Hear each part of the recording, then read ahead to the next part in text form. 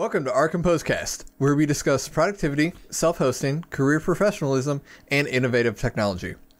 Here to bring you the latest from the open source ecosystem and beyond is yours truly, Andrew Syriac, and with me is my co host, Jack Moore. How you doing today, Jack? I am doing well over here. How are you doing over there? I have to Uh, ask. Doing good. Uh, I, I, I think this is really going to revolve around the holiday season as I am languishing in it myself uh, right now. I don't go back to, to work till Monday.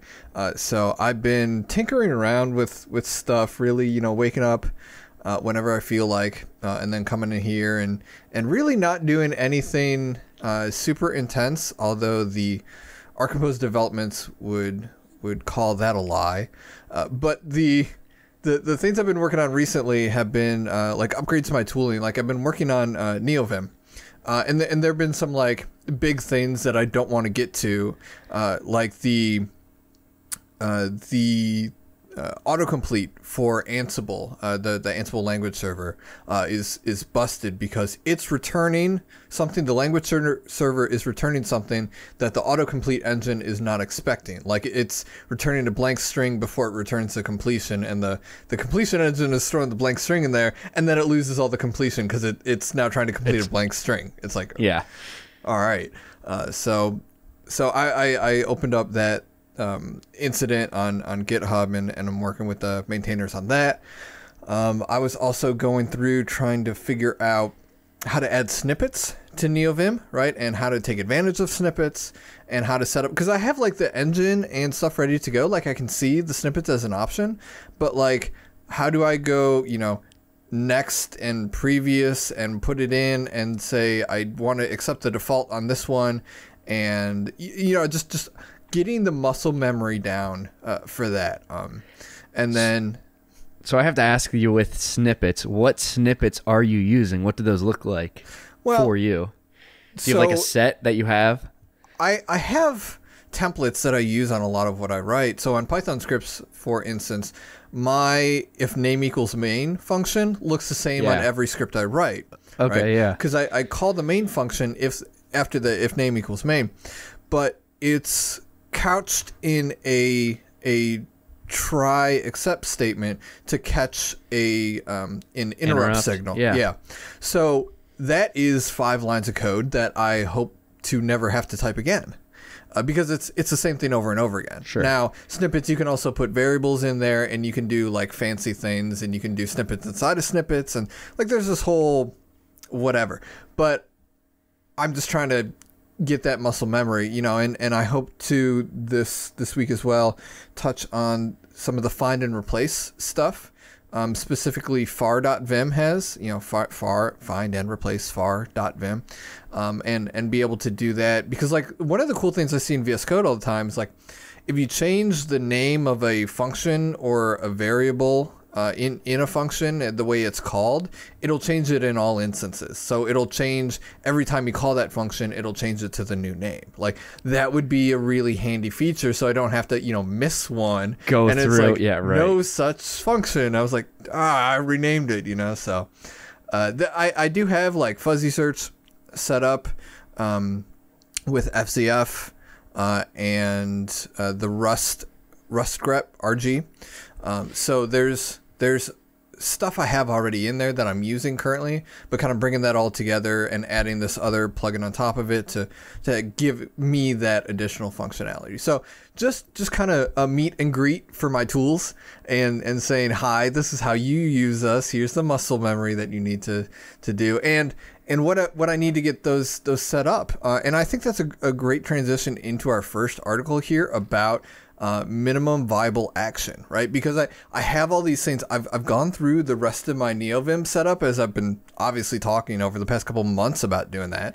But like these are the bigger things that I kept pushing off, and I kept, saying like, eh. I, these, these these are gonna be a pain. Like I, I know these are gonna be a pain Yeah. Yeah. yeah, and yeah. and specifically last night I sat down to figure out the the adding a new snippet because I wanted to add a new one for uh, an, an Ansible play because I always start out the Ansible play the same, you know, with the the hosts, the become line, um, the vars prompt, and, and the tasks, right? So I figure I can I can have all those. Like one of the things I want to figure out in that is can I have it so that uh, it will give me the option to include the vars prompt, but if I don't need that, then I can exclude it, like with a keystroke or something. Is is that a possibility? I don't know because I hadn't got there yet. so that is that is yet to come, and and it's yet to come because I, I just took the minimum viable action right um, to to get that task started because it, it is it was something that you know I, I didn't necessarily want to um, want to tackle all at once, right? So, uh, in in this article here, when they're talking about minimum viable action, they they define it here, right? Um, so it says sometimes tasks are difficult to start because we don't know if some actions would benefit the task or hurt it. You know, we have the same problem using um, minimum viable products and minimum viable tests, right? So doing like blue green testing, you know, or or, or doing um, minimum viable products, rolling out new new features. Um, so, so taking the MVA, which is the minimum viable action, uh, in these cases can offer us confirmation that the style of action makes sense, right? So, so my minimum viable action here was I need a way to work with snippets, right? And I have this whole framework uh, set up to do this, uh, and I I did uh, research, right? I mean, my first step was to do research. What works with LSP snippets, right? Um, what works with, you know, how, how can I add snippets? Do I have a curated list of, of commonly accepted snippets available to me so my code looks more familiar to other people who may be looking at? So it's not, you know, my own idioms that I'm writing. Right, right. So so uh, that was you know step step number one and and really that is all i had done up till yesterday right that was the first step i took on that uh, and then then i set that task aside i was like look I, I i did one step and now i get to do another when i pick that back up Okay, how about that? So when I read this, I, it reminded me of something I read a while back, which was it was kind of like a, a guide to being lazy, right? You do the one thing. If you don't want to do it, or it was a guide on procrastination. It was uh, if you don't want to do it, do the the least amount you least amount possible, which is kind of what you were describing. exactly But then it went to say, and kind of how this article kind of prescribes it. It's like, well, once you have the document or configuration open, now that you're in it, you may as well just stay for like one or two more tasks, Yeah, which I really liked. And that always kind of suckers me into that. And I always get kind of tricked into that. I trick myself into, all right, well, I'm just going to add one, you know, right, one fetch line to this API. It doesn't even, you don't even have to do the back end part of it. Just do the, the front end, just make the call to what endpoint you need. Sure enough, you know, I'm halfway through the entire task going, oh, well, now I'm all the way in the back end doing who fixing something else right now. Always always ends up happening to me, but I- I really like how they the article just kind of described that. I don't know if you wanted to talk on it more, describe how the flow basically that kind of works. yeah because that is and they actually even hy- hyperlink it here. Uh, it's it's a jedi mind trick they they call it. I don't know if anyone doesn't know what a jedi mind trick is but if you don't there's a hyperlink that explains it for you. The the, the, the thought behind that is how do we think about motivation?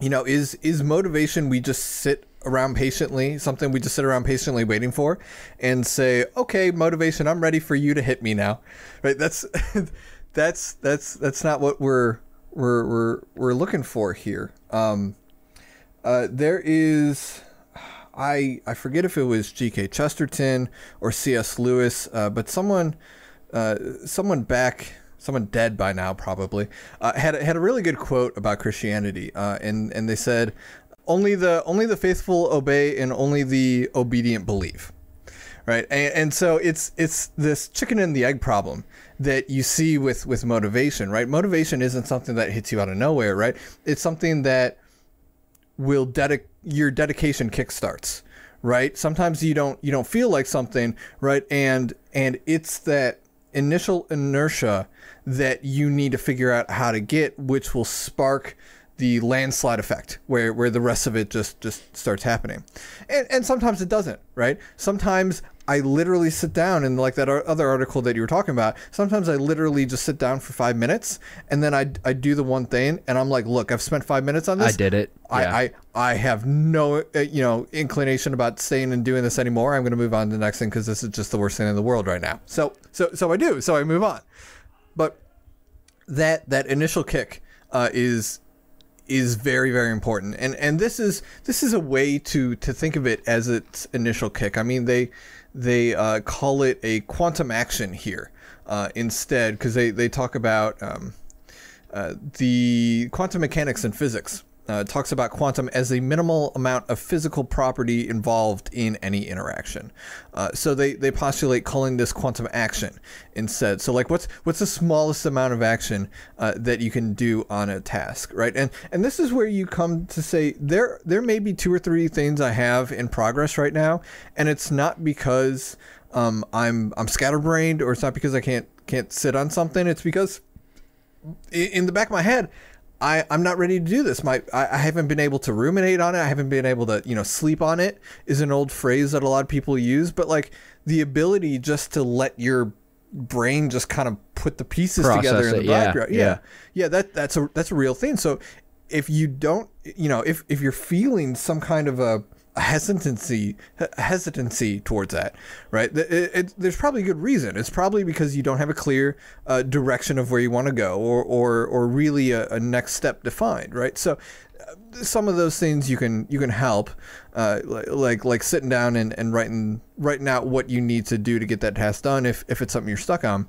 But more than likely you just need to dive into it uh, and then and then let it take you where it will. Now don't let it become scope creep and that's that's kind of the other end of the spectrum. So so on the spectrum here you have the initial inertia you have the the, the quantum action right? And then on the other hand you have scope creep right? And your work should be a constant balance between the two of those right? Are you able to get started on the thing and you're, are you able to like not do too Let much it of go, one thing? Yeah, right, exactly. right. exactly. So how do you stay in that that happy medium? Um it's a, it's not an easy uh, balance to strike, uh, but but this is this is certainly focusing on one side of that and saying, hey, you, you do need that that initial kick, right? You need that kick, uh, and then your motivation will, will kick in and say, oh, y- y- I'm good at this. I forgot how good I was at this. I'm I'm Exactly. excellent at this. Yeah. Yeah. Let me let me sh- you know let me let me display my excellence, and and then then you you you have the ball rolling there. So um, that's basically I, I and, and that's literally what I did with with NeoVim the other day. I, I I sat down. I was like, let me just like see what snippets I can use right now, and then ended up filing a different GitHub issue because I, I went went way down in the weeds there. But that was that was that was fun as well. We also have the other article here. Yeah, you want to touch wanna- on that one? That one was on self-hosting. I'll tell you what, I was more familiar with the MVA, but I can talk on this one as well. And I really liked this one, which kind of discussed. I don't know if you want to call it the movement or it was it an opinion article? Would you say about moving away from big tech companies? Just kind of describing this world where I think we already are, we already live in of self-hosting, where so basically just kind of dives into what it looks like self-hosting, hosting your own services. It kind of talks on a couple people. Actually, I think it was one guy who set up a Raspberry Pi because he wanted to do file sharing, and he was tired of getting burned by you know Dropbox, Google Photos, and a handful of these other platforms. Just said, "All right, I'm doing this at my house. I'm doing it for myself and for my friends," and went off and he now he's hosting all these services for it sounds like a handful of people Yeah, that was that was the author John. Um, he that he was he was talking about. He was able to, to set up a Syncthing, uh, where he Yeah. he kind of dove into the rest of it through that. Um, they they talked to Ahmad at, at the self-hosted subreddit, um, which is always a great a great uh, resource um, for for anything self-hosted. Um, as well, they also talked to the co-creator of the awesome self-hosted list, which is literally the first place I check for. Hey, I wonder if there's a way to self-host this type of service, like a CRM or you know. Uh, accounting software, or you know, and any any type of thing that that we would be able to to incorporate into OurCompose would be something that you're more than likely going to find on that list. So that's that's really cool that that uh, John was able to sit down uh, with Edward to, to go over that. The the thing I picked up there were there were two things here. Right above the uh, the picture of uh, John's Raspberry Pi uh, and and the uh, external storage that he has there uh, Yeah. was a, a, paragraph that touched on um, touched on an interesting point. He said, self hosting is something I found fun to learn about and tinker with, even if it is just for myself. Uh, the the moderator of uh, our self-hosted said eventually a career path started with it and from there being in the community professionally kept me personally interested as a hobby um, you know it's it's nice to be able to play around in a personal uh, type of environment now that belies a a bit of a mentality towards this being what you do like you're you're the self-hosted guy right this isn't a a approach that people can just take jump into. Yeah, sure. I mean you you can. Um, it, it, you don't need like an authority to tell you. You know you. No, you may, right, or you you're allowed to do this, right? Um, but but this is certainly not something that I think people who are unfamiliar with the command line say are going to be interested in. Uh, now there are there, there's another paragraph at the the bottom of here uh, that that starts off the quality of free and easy to use self-hosting software has increased too, making the practice increasingly accessible to the less technically savvy. And that is that is a oft repeated talking point that I think is a bit intellectually dishonest, right? It's not that people are less technically savvy, it's that people have more to their life than self-hosting their services, right? The reason they're self-hosting their services is because they want to do other things with those services. Right. Sure, it can be your playground. It could be where you you tinker and and, and do things if you are technically savvy.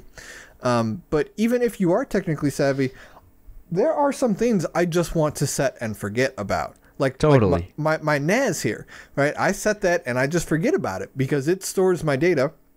I make sure that if anything happens, I get alerted or whatever. But I'm not like poking and prodding it every week. Sure. Right, And I'm I'm glad I'm glad you're not doing that because that that sounds like a recipe for a nightmare right there.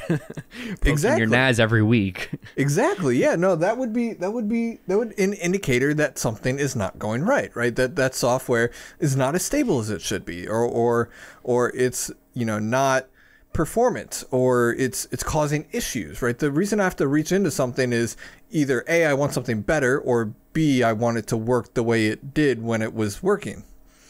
So this this less technically savvy bit is the only bit in that sentence that I, I take issue with um, because I, I do think it makes it incredibly accessible to a broader array of even technically savvy folks like us because now we get to play around with with all these different types of things that w- I couldn't I, I don't have the time to compile from source. I don't have this time to set up systemd services and and timers Right. and you know the the entire infrastructure uh, behind it. You know, Docker's made that that increasingly easy. Uh, the just just all of the automation tooling. You know, we we like Ansible, right? And and and that's made it reproducible. Right. And I was going to say it's not the it's not just the services, right? It's the infrastructure around it. So as you're mentioning these, it's not just I want to deploy a password manager or I want to deploy a file hosting service. It's I want to do these, but I need a repeatable way to do them and I want to be able to do them in a way that all right, the application's separated from the data in a way that I can just easily upgrade applications now. Yeah. So it's self-hosted. I I don't know if it's the self-hosted community that I said would or that I say would bring this all the way forward, but there's definitely been that movement where technically and I'd say more technically inclined people can pick it up and just kind of set and for set and forget. They don't have to tinker with it if they don't want to. Yeah, and it's it it can it can never be closed source successfully, right? It can be closed source temporarily, um, you know, because you can get a, a, a good speed boost out of closed sourcing it and just hacking away and, and, and doing really bad, you know, just just workarounds, you know. But but if you want to do something the right way, if you want to do something the ethical way, the sustainable way, I mean, the, this is this is the only type of community that you're gonna be able to get the broad uh, experimentation with. The, the the the tinkers are the people who do just want to spin it up and say, "Hey, just spinning it up didn't work," right? Well, what, what you know, why not? You know, what what what do you what are you running into and and and working with that and and making it better, continuing to make it better. And I do like in the article here they have, you know, several times over they they kind of enumerate not not explicitly but but the reasons why people self-host, right? There there are many, uh, you know, reasons why you would do this, from technical interest uh, from to a security and privacy perspective, the ability to customize stuff, having control of the software, being self-reliant, looking for a challenge, um, economical reasons, saving the money, you know, um, free software activism or, or, or, political reasons, right? There are many, many different reasons why you do that, and and bringing all those people under one umbrella and saying, hey, I have an open source software in, in which for you to or for for you to to try out, for you to to use if, if this is a solution to your problem. And if it's not the solution to your problem, right, then what problem are you having so we can help you get to a solution, right? And and that's something that's going to be worth creating, right? That is something that is going to continue to get better and that's going to be sustainable. And and we're looking to to serve that market as many other projects are right? I'm, I'm not going to lie and say we're the only ones who've, who've thought of bringing right. some of these projects under one roof. Totally. Right? I I think we got a a good way to do this, right? A, a sustainable way to do this. Um, and I am married to the idea of doing it the right way, right? Doing it the ethical way. And I agree with that. I, I t- I'll tell you what, we do have along those same lines of doing it the ethical way here, we do have a handful of uh, news and community updates from a couple projects around the ecosystem. Uh, I'm going to skip the SuiteCRM one. Nothing huge coming out of that. Uh, okay. Just some maintenance patches. Uh, we do have, though, kind of some other updates. Uh, I'm going to mm-hmm. jump to Firefly 3 here. Yep. The CSV importer, it's the last release for this. They're migrating away. So this is their 3.0.0. It was released two days ago. If you look, there's a warning. I'm saying it now. Yep. Don't be surprised when you can't import data via CSV. The warning is this is the last release of the CSV importer. The Firefly 3 data importer will replace the CSV importer. So okay, so there is a replacement in. There's a replacement okay. available, but the CSV importer is being deprecated, no longer worked on, unmaintained. I'm sure if there is a security patch, they may go back, but yep, who knows? Has to be yep. reported, right? Uh, the next one, another small one, is the Kanboard update. Again, with this one, it looks like they're just kind of doing regular maintenance.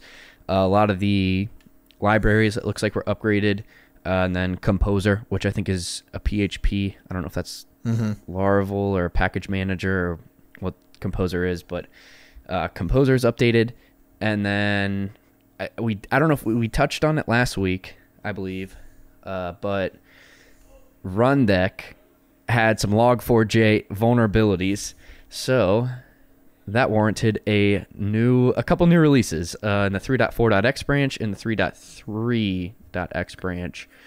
And I think with the 3.4.9, we got a new release, Papadum Gold Globe, which really just kind of covers uh, the log4j vulnerability as Rundeck is in fact a Java application. Yep. And uh, the 3.3.17 was released, which we are currently pegging since that's one minor version behind latest.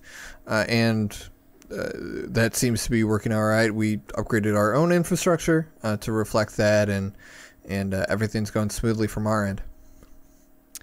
And then the last one here is from Bookstack, which I don't know if you got a chance to look at this update, but there was a quite a lot going on in this one. Uh, so I was expecting another vulnerability update, kind mm-hmm. of uh, just expecting smaller updates, just kind of waiting to see. All right, what's what's going on? But this 21.12 includes quite a few new features, including outgoing webhooks, which is awesome. I always love That's seeing webhooks now. Yeah, I don't know exactly what you're going to use webhooks on documentation for, but hey, they're available. You sure. can see when pages are created, create alerts around that, which is great to see. I, I love myself a good webhook, honestly. um, you're able to copy entire chapters and books. If you look at the next paragraph here, they the, Dan kind of explains that he says these new abilities bring some great potential new workflow advancements, such as being able to create templated books pre-configured with the right chapter and page structure, ready to be copied out, which is what and that's we were awesome. doing manually. Yeah, yeah, because we we yeah. started out with that. We said, you know, all of our books, we want to have these chapters, and then we want to have the the upstream links page uh, in the, the the the last chapter. So having if we were able to do that earlier, that would have saved me probably two or three hours. A lot of time, yeah. manually, you know, putting in all these Going through and creating, I'm yeah, sure. yeah. So uh, that that is really cool to see. That is an actual problem that I had that I had to perform a workaround for that he's introduced a a advancement for. So that's that's great. That's an awesome one. We'll have to get a template created out there. Yeah. Sounds like a task. But uh, moving forward here, the there is copy rules as well, which kind of follows that same, uh, what I would call same same kind of line right there. Right, you have a user, you want to give them, all right, is this an editor? Is this someone we want to give read only access to behind visible pages behind pages that aren't visible to the public? So kind of along the same lines with that one uh, but for roles of users. Mm-hmm. And then the last one is the search API updates.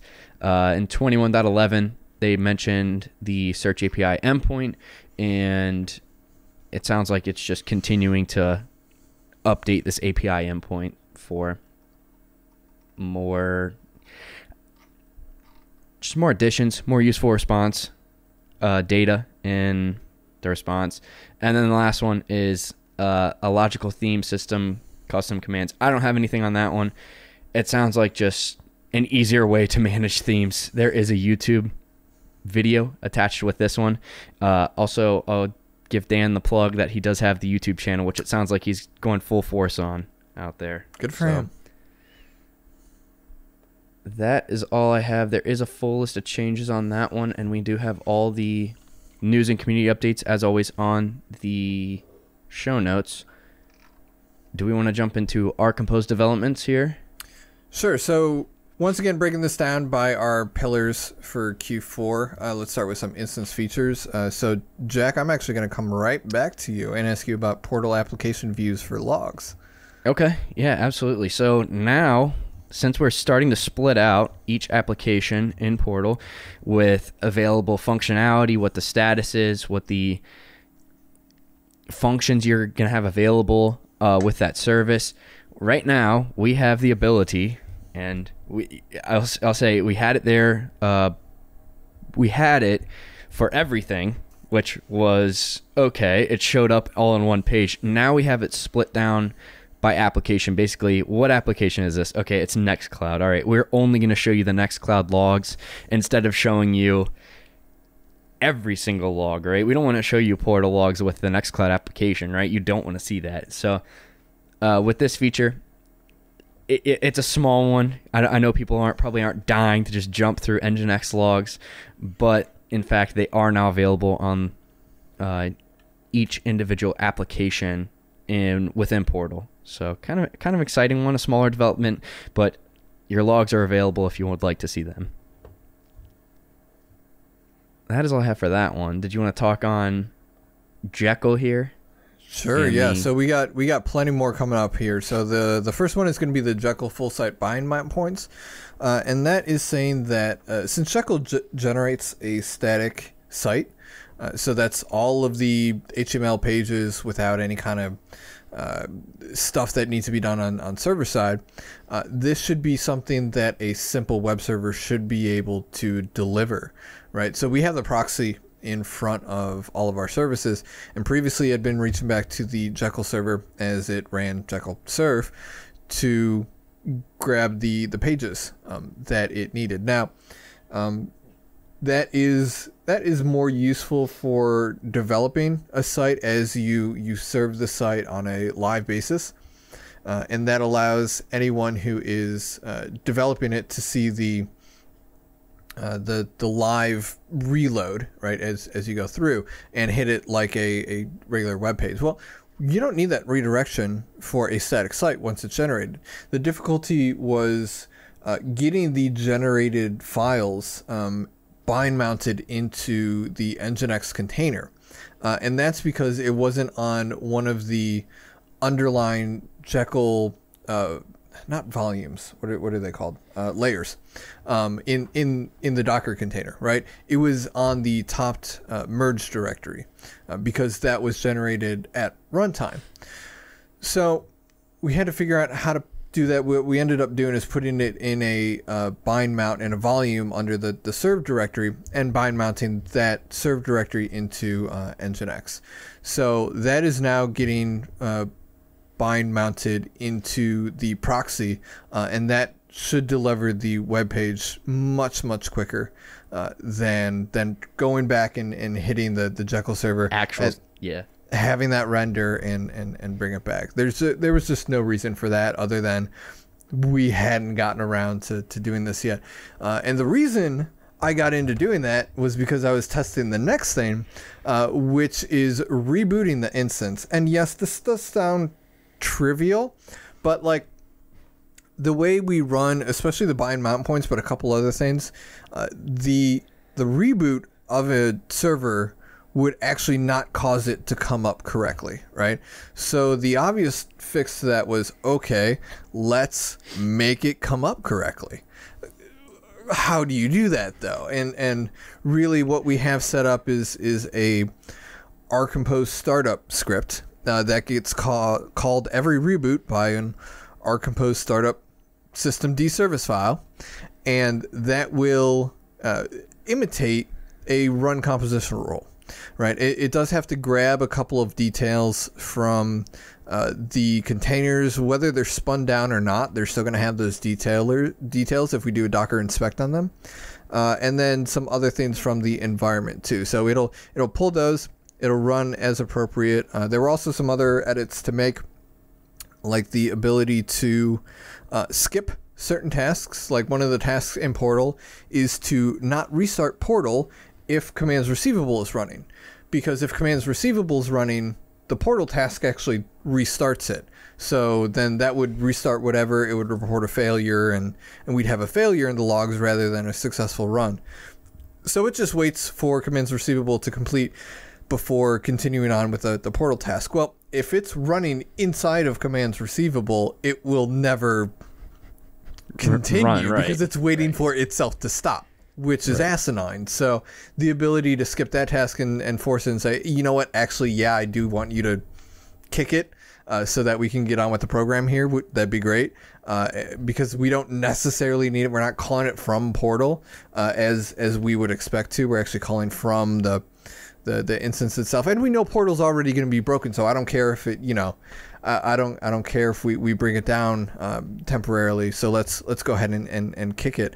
Um, so there were other factors in there that we had to consider uh, when rebooting the, the instance, kind of just putting all the puzzle pieces together, um, and and a lot of underlying uh, Unix, Linux operating system knowledge needed to kind of say what's going to be available to me, what's not, what can I utilize.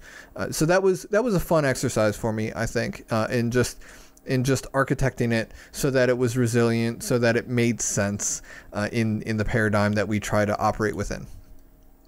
Uh, next was the rundeck log4j remediation. So we already touched on that. Uh, we updated our infrastructure to to uh, 3.3.17, um, which remediated the log4j vulnerabilities, at least the ones, the remediations that have been published thus far. Yeah. Um, and then lastly, for uh, the administrative pillar uh, that we are attacking here, uh, we revamped how Portal, at least, and Command Center um, soon, uh, does its branching so that we're able to cherry pick bug fixes rather than have a just ongoing latest and greatest is uh, stable. y- totally. I, how do you want to describe that? Uh, what's that workflow? I know there's a specific workflow. That's is that feature branching? Do you want to touch on that a little Yeah. bit? Yeah, I, we've we've already gone that- over it. Uh, I think it was Okay. early on. It was probably episode two or three or four or something like that. Uh, but we did discuss the GitLab workflow and how that worked, and and how feature branches work, um, and how stable branches worked uh, with with the ability to backport bug fixes across major versions, Yeah. uh, so that we can have multiple versions supported and up to date without having to clobber one thing or another. Uh, which is what we were running into with with Portal because we'd push something for a fix for something, and then it would have a issue with something else because it was latest and greatest, and we're trying to fix this Just running one off of thing it, back right, in the right. yeah so so our ability to maintain those stable branches um, and and tags is going to help a lot